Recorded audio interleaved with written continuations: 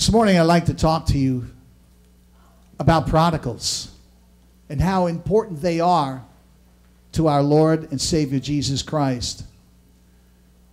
Last night, as I was just thinking about this particular chapter that we're going to read in a uh, portion of it in Luke 15, verses 11 to 32, I felt the Holy Spirit just nudge my mind and say, You all begin as prodigals. We all begin as prodigals in the sense that we are apart from God, separated from God. And uh, some of us are blessed with parents that raise us up in the Lord, but we still have to make this conscious decision to be able to accept Jesus Christ as our personal Lord and Savior. Some do as young kids, and then they kind of go out and sow their wild oats. And they really live as a prodigal, try to do it their own way, try to do it without God. But if they are, uh, have in their hearts sown the Word of God, the Bible says, the backslider has a full of their ways. We're going to read about a prodigal here, and then I'm going to read you an article written by an author, a woman who um, kind of hits, hits the nail right on the head concerning how we should never give up on our children no matter what, because we believe that God has a few pointers for us today, and He will never leave us nor forsake us. Amen. So let's just begin reading in uh, Luke's Gospel, chapter 15. We're going to break into some of the parables of Jesus, and this one is the parable of the lost son or the prodigal. In Luke's Gospel, chapter 15, verse 11, Jesus continued There was a man who had two sons, and the younger one said to his father, Father, give me my share of the estate. So he divided his property between them. Not long after that, the youngest son got uh, together all that he had. He set off for a distant country, and there he squandered his wealth in wild living. And after he had spent everything, there was a severe famine in the whole country, and he began to be in need. So he went and he hired himself out to a citizen of that country who sent him to his fields to feed pigs. He longed to, he longed to fill his stomach with the pods that the pigs were eating, but no one gave him anything. When he came to his senses, he said, How many of my father's hired men have food to spare, and here I am starving to death? I will set out and go back to my father and say to him, Father, I have sinned against heaven and against you. I am no longer worthy to be called your son. Make me like one of your hired men. So he got up and he went to his father, but while he was still a long way off, his father saw him and was filled with compassion for him. He ran to his son, threw his arms around him, and kissed him. The son said to him, Father, I've sinned against heaven and against you. I am no longer worthy to be called your son. But the father said to his servants, Quick, bring the best robe and put it on him. Put a ring on his finger and sandals on his feet. Bring the fatted calf and kill it Let's have a feast and celebrate. For this son of mine was dead and is alive again. He was lost and is found, so began to celebrate. Meanwhile, the older son was in the field, and when he came near the house, he heard music and dancing. So he called one of the servants and asked him what was going on. Your father has come, uh, your brother has come, he replied, and your father has killed the fatted calf because he has him back safe and sound. And the older brother became angry and refused to go in. So his father went out and pleaded with him. But he answered his father, Look, all of these years I've been slaving for you and never disobeyed your orders, but you never gave me even one young goat so I could celebrate with my friends. But when this son of yours, who has squandered your property with prostitutes, comes home, you kill the fatted calf for him. My son, the father said, You are always with me, and everything I have is yours. But we had to celebrate and be glad because this brother of yours was dead and is alive again. He was lost and is found. Let's bow our hearts and pray. Father, we thank you for this story of the prodigal. We ask, Lord God, that we can learn from this, Lord God, that Number one, we could learn, Lord, that we all begin as prodigals, and some of us have longer extended stays in a faraway country, Lord God, and not the kingdom of God, but your desire, Lord, is for all, Lord, to come to salvation. For you so loved the world that you gave his, your only begotten Son, that whoever believes in him will not perish, but have everlasting life. You sent the Son into the world not to condemn anybody, but through the Son, the whole world could be saved. Open our eyes, open our ears, help us to make room in our hearts for prodigals all of our lives. In Jesus' name we pray. And everyone says, Amen. Now, most of us have heard the story about the prodigal. There's a couple of questions that come up.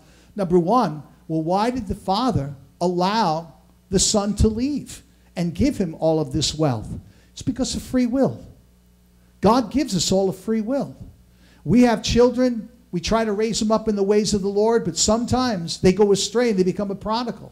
Why? Because they have free will. We can't force our children to do anything. We can try to encourage them, we could teach them the best we can. But they're on their own when it comes to making the personal decision to come back to the Father's house and to be able to serve the Lord. They have to make this decision. God has no grandchildren, as the saying goes. We must be born again, or we cannot enter the kingdom of God. But we have to realize this too. It's not a question of, well, I'm better than the other person. We are all sinners saved by the grace of God. There's just a time delay with some, some prodigals. Some, some are only a prodigal until they reach four or five years old and they serve the Lord, filled with the Holy Spirit, serve God the rest of their lives. But some remain prodigals for a very, very long time. And we have to remember never discard anybody as junk because God does not make junk. Amen. Amen. He doesn't make, He gave us all who believe in His name the right and the authority to become children of God no matter what they have done in their past. And Jesus sets this, this story down in this parable to show that even an individual who has been living a life of the grossest sins, if he finally comes to his senses, and when he finally comes to his senses, he can come home. And rather than the father make him a second class citizen, he says, Come home, you're still my son.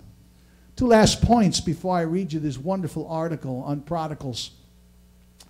Number one, the son was always a son to the father. Number two, the prodigal was not always a brother to the elder brother because the elder brother cut him off. Why? It's because the prodigal had a very poor performance as a son. So therefore, he felt as if he doesn't deserve anything. But you notice that the father ran to his son when he saw him. And it's very, very clear in God's eyes who is saved and who is lost. It's very, very, very, very clear. Before we come to Christ, we are dead in trespasses and sin. And when the elder brother tried to talk about religious performance and duties and things like that, the father just cut him short. He says, Listen, your brother was once dead, but now he is alive. And that should speak volumes to us when we think of somebody who's in trouble, somebody who's in sin, somebody who walked away from God, somebody who you trusted in, somebody who betrayed you. We have to realize that God loves the world and He sent Jesus, and whoever believes in Him will not perish. Because there's a tremendously long delay in an individual's life. I've seen some prodigals on their deathbed at 70, 80 years old finally receive Jesus as Lord and Savior and they're going to heaven. What kind of performance did they have? Well, I hear their confessions, and they're saying, I was a rotten, I was a rotten person. I couldn't do nothing right.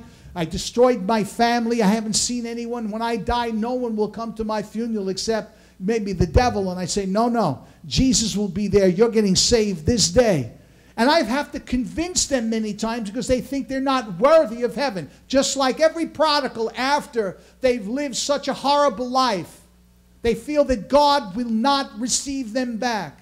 But I'm letting you know that God and His love never fails. Can you say that with me? God's love, God's love. Never, fails.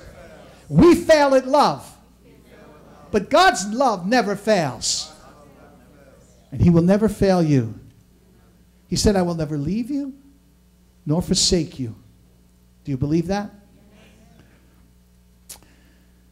Lori Hatcher is an author. She's a mother, and uh, she's an empty nester. Her kids are grown now, and, and she uh, ministers with her husband. And she wrote this tremendous article entitled For Mothers of Prodigals Six Reasons to Keep Hoping. And since we're between Mother's Day and Father's Day, I'd like to kind of like just say it's not only for mothers, but it's also for fathers too. So let me just break into the article because she's a very good writer and I think you'll enjoy this story. Mother's Day has come and gone. Thank God, some women say. You may have noticed them wiping their eyes in church while the sweet, sappy, I love you, Mom, you're the best video played. They weren't crying because they were touched by the sentimentality of the footage. They were crying because their hearts were breaking. They were wondering if they'd ever hear their adult children say, I love you, Mom, again. They were looking at someone else's child holding up a finger painted card and wondering what went wrong with their own. They were watching the gangly preteen read a carefully written prayer, thanking God for mothers and remembering their own children's most recent words, which were anything but thankful. And instead of hurrying to collect their children from the nursery after service, they rushed home hoping to find a message on their voicemail, only to be disappointed again. They are the mothers of prodigals. If you are one of the ones who cried during that video for all the wrong reasons, I have six things to say to you. Number one, God cries for prodigals too. He wept over Jerusalem, which he longed to gather to his breast, and, and he wept over the adulterous Gomer, who he wanted to heal and restore. God weeps for your children too. Number two, God is sovereign over rebellion. Jonah was running hard away from God. Hard. But God saw him, pursued him, chastised him, and won him back. But Jonah went, ran away from the Lord and he headed for Tarshish. He went down to Joppa where he found a ship bound for that port. And after paying the fare, he went aboard and sailed for Tarshish to flee from the Lord. Then the Lord sent a great wind on the sea, and such a violent storm arose that the ship threatened to break up. And that's in Jonah chapter 1, verses 3 and 4. But the Lord provided a great fish to swallow Jonah, and Jonah was inside the fish for three days and three nights. We could have added until he came to his senses. God knows exactly where your child is, and He can engineer circumstances, large and small, to pursue him or her and win him back. Sometimes it's the goodness of God that leads our children to repentance, and sometimes it's His judgment. We can trust God to know which is more effective. And then, number three, there are no perfect parents. At night, the voices whisper loudly. You lost your temper a lot. You didn't pray enough. You didn't take them to church enough. You took them to church too often. You sent them to private school. You sent them to Christian school. You homeschooled them. It's all your husband's fault. If you married someone else, it would have been different. These are all lies. Adam and Eve had a perfect parent, and they still chose to go their own way. James 1, verse 14 explains how each bears the responsibility for their own choices and his own sin, including our prodigal children. But each one is tempted when by his own evil desire he's dragged away and enticed. And number four, God can use the sins of others, including you, to accomplish his purpose in your child's life. If you sinned against your child, and we all have, either intentionally or unintentionally, God is sovereign even over that sin. But if someone else has sinned against your child, God is sovereign over that as well. Some of us came to Christ late and lived a godless example in front of our children. Other, although we've repented, forsaken, and uh, ask forgiveness of God and our children, we find it hard to forgive ourselves. Other times we see events in our children's lives outside our control and wonder if those events push them over the prodigal precipice. The story of Joseph should give us hope.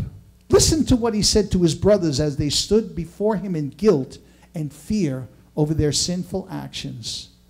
You intended to harm me, but God intended it for good to accomplish what was now being done, the saving of many lives. And that's in Genesis chapter 50, verse 20. You see, Joseph understood that while God didn't cause the sin that changed his life forever, he was able to use the sin to accomplish something good. He can do the same for our children. Number five, God can restore and redeem your prodigal. The Apostle Paul gives me great hope. He spent a significant portion of his life far from God doing wicked things. When God saved him, however, he turned the world upside down for Christ. And then in Joel 2, verse 25, we read, And I will restore to you the years that the locust has eaten. And number six, the prodigal should not steal your joy or your faith. There will be times when you feel as though your heart is breaking, when you wonder if you can climb out of bed and face another day. And when your thoughts and mind are consumed with the thoughts of your prodigal child, where is he? Is he safe? Who's he with? Those thoughts are normal and should be your impetus to pray and pray hard. If we allow our children's rebellion to strip us of our faith and joy, however, we might be guilty of idolatry. Am I worshiping my children instead of worshiping God? Do I value them so much that their absence can strip me of my faith, of my ability to experience joy, of my desire to serve and worship God? Some of the darkest times of my parenting life have also been some of the sweetest times of my spiritual life. When I come to God broken and helpless and frightened and weak, He meets me there. He speaks words of healing to my heart. He becomes my mighty warrior. He quiets my frightened spirit and strengthens my troubling soul or trembling soul. When I feel as though everything precious has been stripped away, I discover that the greatest treasure remains. The prophet Habakkuk describes what steadfast faith looks like. In Habakkuk 3, verses 17 to 18, though the fig tree does not bud, and there are no grapes on the vines, though the olive crop fails, and the fields produce no food, Though there is no sheep in the pen and no cattle in the stalls, yet I will rejoice in the Lord. I will be joyful in my God and my Savior. Broken hearted mama, it's okay to cry, but cry in the arms of your Savior. Don't be afraid to ask Him for great and mighty things on behalf of your child. Trust Him for a miracle. And remember that nothing is too hard for him. That's by Lori Hatcher. Isn't that a beautiful story? Making room in our hearts for prodigals. It's not only for parents, but for all of us, because last night when I was at home with the Lord, the Lord said, I have many prodigals. I have sons and daughters. In fact, as, he, as I began to say in the beginning, we all begin as prodigals. We all begin as prodigals. Some, fish, some people are, I call them artificial Christians, where they, they grow up in a church, but they never really were saved. And when they reach these rebellious years, they're turning away from God because we forced them to do something they never wanted to do. You can't force a pig to become an eagle. You cannot force a, a cow to become a rabbit. You can't force anyone to do anything because it's with our free will that we finally get to the place where we've come to our senses to realize that we need God. We need Him. And everyone, each in his own time and each in his own order. But we can help. And how can we help? By doing these things that Lori had spoken about in this article. But never forget this that God is sovereign. And what I want to do this morning, and I felt this in my heart, the Lord said, Son, I want you to pray for all of the prodigals, and I want each and every family member here that has a prodigal in your family. It could be your child, it could be someone in your family, or it could be somebody who's your best friend. They're still a prodigal and they don't know God. Never stop praying for their salvation. That's what the church should be doing today. I love to party in Jesus. I love to see people having a great time in God, but I never forget where I came from. And I never forget the fact that my mother uh, was praying for me constantly as she watched me dying from just, just not caring anymore, being a, a, just an individual who had too much at too young of an age all the money I could ever want and spend, all the friends I could ever want to be with, all of the power, all of the, to be able to go anywhere in the world, wherever you wanted to do, all up until the age of 24 years old. And then at that time, I didn't care if I lived or died anymore because I've done it all. But the one thing I could not do is to be happy with whatever I had gained. And I didn't realize at that time that God got me to a place where after I got to the top of the mountain, I realized that the only place to go was down. And I went down. You see, when your body finally gives out and when your mind gives out, and you realize that why should I live any longer? Just eat and drink and be merry and just drug myself to death. What is the difference? But I had a mother who did not give up praying. And she constantly prayed. She was a good Catholic lady and prayed to the patron saint of hopeless cases. Okay? I always like to say my mom probably and dad probably built most of St. Jude's Children's Hospital. You see, they cared about all of these children, but they watched as myself just ended up becoming destroyed by just all of living a wanton life, just giving myself over to doing whatever I wanted to do with all the money in the world. But then you get to the place where you can't do it anymore because your body gives out and your mind is giving out. Now, most of you will never get to that place. And I pray, God, that you never be in a prodigal to the place where you're on your deathbed where you have to accept Jesus Christ as Lord and Savior. But I can tell you that even if you do get to that place, that God will take you into heaven. As Mickey Mantle once said, if I knew I was going to live as long as I would, I would have taken care more, taken care more of my body. And I never realized that I would live as long as I'm living right now. Because God did heal my stomach problems. He healed my, my, all the, the health problems that I had gotten from all of the things that I had done wrong. He healed my spirit and set me free from all the satanic things that I got involved with during the hippie days and where we were just trying everything once. He set me free from all of these things. And then he showed me what new life was all about. And I'm telling you right now that Jesus ran to me. All I had to do is say, Father, I have sinned and you got every right to send me to hell. But Lord God, if you give me one more chance, I'll do it right by your grace. I am sorry for everything I did. I cannot right any wrongs. I can, can't unscramble an egg, but I can stop scrambling them as best I can if you give me one more chance. Little did I realize that that was my altar call. That was my time of seeking God with all of my heart. And He came and He set me free.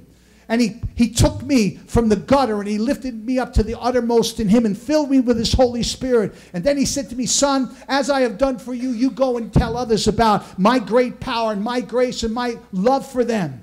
And he showed me things in the Bible about his love. I could not believe how much God does love this world. We make this world because we allow sin to grab us and selfishness and, and evil to grip our hearts to the place where we put on the front that we're really, really, you know, true and we're really, really uh, loving. But in reality, we're just act as animals do on this earth, using each other with once in a while we do some nice things, nice things. But when God gets a hold of your life and you realize that you truly are a son, a truly are a daughter of God, with his divine nature is within your heart, his divine nature is flooding through your, blames, your, your, your veins right now, and his thinking comes upon you. You begin to think like Jesus Christ. You begin to act like Jesus Christ. You feel like you swallowed the Son of the living God, and there's a smile on your face, and the things you do is not because you want to get something from somebody, but but it's because you're radiating out the presence of God. God can do nothing except give. That's all He can do. He's like the sun. He can just give. The sun gives and gives and gives. That's all He can do, is God gives Himself away, and that's what He wants to do for you. That's what this article about is the prodigal son. I can always tell if someone is living under the law or living under grace by how they interpret scriptures. I really can. I can tell people how they love just by the way they act and by the way they see scriptures and what scriptures are called to their mind when they're thinking about. If they find out that somebody fell, some person who was living a good life, and they were representative, maybe even in the church, and all of a sudden some personal thing comes out and, and they messed up. You can always tell who the ones really know the love of God and who are still under the law. Because the ones that are under the law are the first ones that condemn. The first ones are shocked in their mind, as if, oh my gosh, I cannot believe that somebody could sin in our church, as if none of us sin. The only difference is that we judge people just because they sin differently than we do. It's called holier than thou. When God looks down, He looks at all of us as sinners saved by His grace only. He looks at all of us as a prodigal. He looks at all of us in different stages of development. That's why the Apostle Paul said, I labor in prayer. I labor for you in prayer. And I hope and I believe that one day Christ will be formed in you, that your minds would be renewed. And it's a process that takes place. This is not a contest down here in the church to see who's the holiest one, who can get out of this world without ever doing some public scandal or some public skin, uh, uh, uh, sin. When in reality, we all have private sins going on in our minds and in our private life at times because we have these animal bodies that have desires that absolutely just act like animals at times. And we try to curb them with our thinking, curb them with the Word of God. But like the Apostle Paul, we end up just saying, Oh, who is going to save me from this wretched? I don't understand myself at all. I want to do the very things that God's Word says to do. I, with my mind, I want to serve God, but with my flesh, I end up serving sin. It's because sin is in the body. And that's why we die, if you haven't found that out. The body is dead because of sin. That's what Paul found out. But it did not stop him from trying to live the best life he could. It did not stop him from being able to go forth and talk about the holiness and the character of Jesus Christ. And it did not stop him from being able to talk about the grace of God. For when he was weak, he said, I am strong. My strength, God says, is made perfect in your weakness. Just like the Father took the prodigal's weakness and scandal life and he swallowed it up with a feast. And he just said simply, Hey, my son was dead, but now he's alive. This message is for you too. If you feel like a dead man walking or a dead girl walking, or you feel like you've ruined your life, you feel like people will never accept you because of what you've done in the past. Listen, people, you'll never please everybody all the time. You can't please human beings. They're so fickle, they're a pain in the neck sometimes when we're trying to deal with humans. They're with you for a while and then they leave you. But God will never leave you and He will never forsake you and He'll take you through the storms of life. And where do you meet Him? You meet Him right at Golgotha. You meet Him at the cross because that's where new life begins with a death to self and a new life risen on the third day. You rise from the dead with the power of the Holy Spirit within you, and then you can do what Jesus did. Every time somebody betrays you, every time somebody sins against you, and the first thing that rises up within us is vengeance. We want justice. And God says, No, forgive them, for they don't know what they do. I like to summarize it up, and people get angry at me if I say we're all idiots down here. We all have an idiotic tendency time sometimes to misinterpret situations where it could be a place where we could actually snatch somebody from the fire. What we do is we heap more coals of fire on their heads by throwing more judgment as if we are so much holier than them. But ringing in my heart is this whole idea of Jesus saying, Go into all the world and preach the good news. And those who believe will be saved. They'll pass out of death and right into life because it's not based upon your performance. It's based upon if you accept, believe that God sent the Son to die on the cross for your sins. And on the third day, he rose from the dead. It's the gospel. You believe that, you're saved. To the religious and the elder brothers, they don't like that. Why? It's because they've been trying to perform for so long, and they got all their they got their eggs in one basket. They got their ducks in a row as best they could, but they don't realize that God's not impressed with that. Because no matter how religious you look on the outside, there's still sin inside the nature. And when you try to paint the picture on the outside that everything is fine and you're better than everybody else, you're nothing but a Pharisee.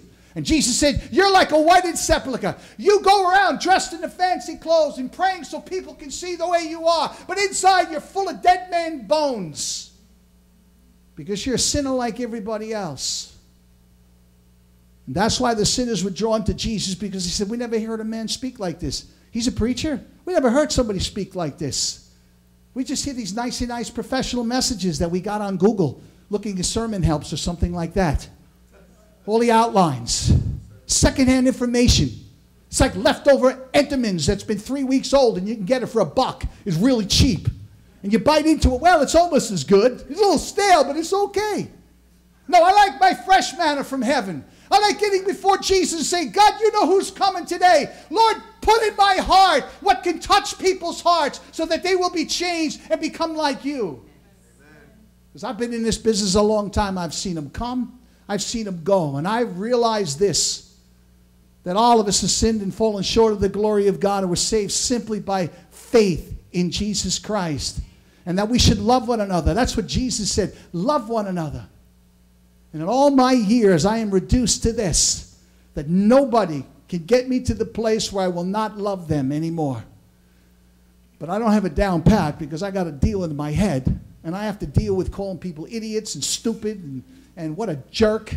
And then I go, I'm a jerk for saying what a jerk. Lord, forgive me. But this between me and Jesus. I'm just confessing what you think probably too. I say this to the Lord.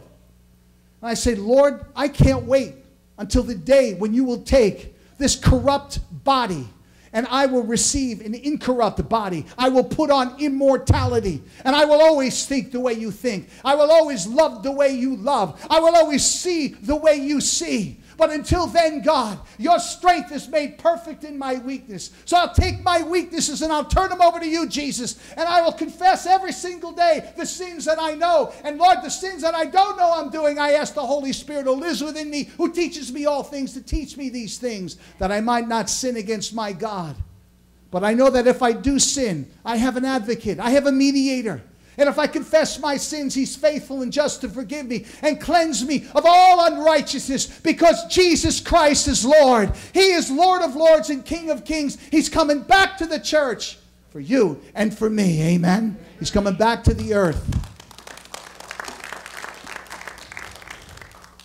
I want you to think about a prodigal. Might be in your own family. Could be your son or daughter if you have children. It could be your sister, your brother, your aunt, your uncle, your mother, your father. A prodigal is somebody who's trying to do it on their own. I remember speaking, I was only a saved for a week. And I was involved in this revival, and I always stayed around afterwards. And, and I remember this guy looked like he was a guru from, you know, he had, you know, I, first I thought he was like a, a monk, but then he wasn't. He said, no, no, I'm, you know, I just got back from India. And this is the days of the hippie days, and everybody was searching. I says, India? What were you doing in India? He said, I sat under a guru for two years. I said, What'd you learn? He says, Well, for the first year, you know, I didn't learn anything. He wouldn't, he wouldn't, he wouldn't talk to me. He just said, just sit. So the second year, I asked him. You know, I said, well, you know, I'm trying. I come to try to find the meaning of life and what's it all about? Why are we here on this earth? And the guru said, I don't know. He says, you don't know. What are all these people doing here? He says, We're all searching for the truth. He says, But I don't know the truth. I says, What are you doing back in America? He says, I ran out of money and I was kind of like disillusioned. He said, You know, but I'm still looking for truth. I said, You really are looking for truth? And this is for you listening to this message. You really want to know the truth. Jesus is the way, the truth, and the life. I said this to this guy. I said, Listen, Christ is the truth. Truth is not a book. Truth is not an ideology. It's not a religion. It's not a system. It's not a performance based kind of concept. It's not a cult. It's not a group. It's not a country club. It's not any kind of a thing like that. But truth is a person, it is the very nature of God Himself. He is truth. He cannot lie. He is the creator of all of the universe. And I said, if you really want to know the truth, you can know him. He says, I want to know him. And I said, then say this tonight. Jesus, this nut, I was kidding around, but I was a nut back then, you know, telling people about Jesus. I say, Jesus, this nut came to me and said that you will speak to me tonight and show me that you really are the truth. And I said, but you got to be honest. If you're just, you know, looking for more power and looking for this and to, you know, I said, nothing's going to happen. But if you really are sincere, he goes, I spent two years of my life searching. I said, Well, your search is over because it's a person, Jesus. Go to him tonight. And if you go to him tonight and you just say, Jesus, if you are the truth, reveal yourself to me. And I said, But I said, You've got to admit that you've sinned and that he's the only Savior. And that was what got him. He goes, Well, I don't know about that. I think there's many ways up the mountain. I said, Hogwash. That's nothing but some religious psychobabble from human beings put this together. There's only one way. Jesus says, I am the way, the truth, and the life. No man comes to the Father but by me. I said, if you believe that and try, what do you got to lose? I said to him, I'm a pretty good salesman when it comes to Jesus. What do you got to lose? He goes, nothing. I said, but this is the way you got to pray. I said, you got to pray in this manner. You got to say, Jesus, if you are the Savior of the world, please convince me because I really want to know the truth. I sent him on his way. He did come back. I never even talked to him again, but I saw him. And he was just smiling, praising God. You see, this is all about a relationship with Jesus. It's not a relationship with the church or joining a country club. It's not about joining this church or another church or, wow, look at the size of that church. I'm going to join that. Why? Well, there's a lot of girls there, a lot of boys there. Well, you know, hey, I'm a business person. I can get a lot of business if I join that church. As if it's a, if it's, it's a country club. How many people ever were in a country club? Nobody? I never, I, I never went in, I was in country clubs quite a bit because I hung around with a lot of wealthy people. And I can tell you right now, the reason why the dues are so high is they don't want to, they want to keep the riffraff out. I've been in country clubs where the minimum fee to get in there a year is a half a million dollars. That's just the fee. You know why? Because they don't want anybody who's not making that much to get in there. Because they want to bring their families in there. They don't want their kids socializing with anybody that's below that stage. In other words, the top 1% of the world's income is where these people hang out. But you won't find them hanging out in the streets of India or even the streets of East Meadow. They, you won't find them going out and trying to, trying to touch people and trying to help them. You don't find that. Why? It's because that is the system of the world. The incredible thing is, I could get really frustrated with that. But when I read the Bible, and I'm closing with this idea that God so loved the world. Oh, if you love the world, then I got to love the world, Lord. I'd like to just go ahead and, and, and get 10 acres of land and grow my hair and look like one of your disciples and just not have any, any human contact with another human being, and then I could be holy. And I think the Holy Spirit laughs. He says, Son, he said, I told you to go into all the world. I love people. And forget about arguing with God. How could you love some of these people? I mean, some of you are very difficult to love. You really are. Okay? And I didn't even have to talk to your mate or the one sitting next to you. You know, I couldn't live with you, okay? I could love you. I could go to church with you, but I don't think I could live with half of you. And you couldn't live with me. I'd drive you out of your mind, okay? God gave me a good wife who understands me. But the fact is that God can live with each and every one of us personally. That's why He's God and I'm Rob. Would you stand to your feet right now? I'm going to ask the musicians to come forward, and I want to do something right now. Could you move that back? Everyone knows a prodigal. You might have one in your own family. It might be a friend. It might be a parent. Everyone that would like to come here and stand in proxy for your prodigal. We're going to pray for you as if they were that individual. You're going to stand for them, and we're going to pray and believe that God's going to move in a powerful way. And the musicians will play something softly behind us. But I want you to come up here if you got a prodigal somewhere. Could be your anybody, a child, or it could be a family member, and you want to believe that God will touch them. I'm doing what Jesus told me to direct. He just told me to do that. He said, Son, you call him up. I said, Okay, I will. I thank God that I'm back with Jesus. I lived a long time as a Christian. And I can tell you right now God is love.